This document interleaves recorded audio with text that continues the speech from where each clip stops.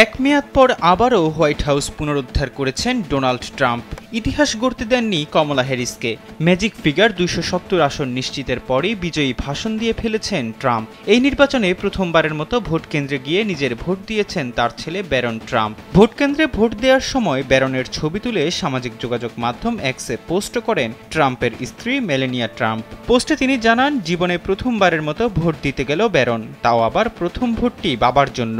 দু হাজার ষোলো সালে প্রথম নির্বাচনে লড়াই করেন ডোনাল্ড ট্রাম্প। সেবার তিনি হিলারি ক্লিন্টনকে পরাজিত করে হোয়াইট হাউসের বাসিন্দা হন। এরপর দু হাজার বিশ সালে বাইডেনের কাছে হেরে যান তিনি। এবার কমলা হ্যারিসকে পরাজিত করে ঠিকই পুনরুদ্ধার করেছেন White House. Double million offer Walton fridge কিনে পেতে পারেন বিশ লক্ষ টাকা। রয়েছে কোটি কোটি টাকার নিশ্চিত উপহার। রাজনৈতিক বিশ্লেষকরা মনে করছেন বাইডেনের আমলে যেভাবে দেশে দেশে যুদ্ধ পরিস্থিতি তৈরি হয়েছিল এবার হয়তো সেই পরিস্থিতির কিছুটা অবসান ঘটাতে পারেন ট্রাম্প।